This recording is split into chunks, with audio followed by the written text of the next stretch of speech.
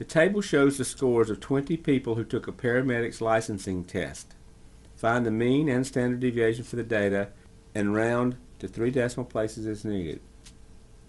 The frequency column tells you how many times to enter each score. So for instance, 71 gets entered five times.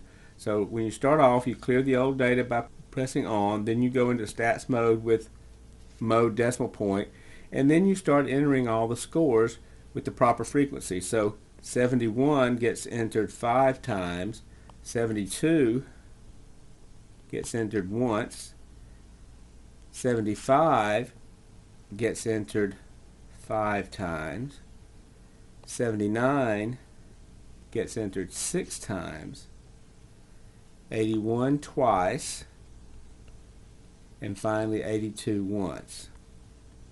Once the data is in, Shift 7 gives you the mean, which comes out to be 76, and the standard deviation is found by using Shift 9, and the three decimal places you get 3.880.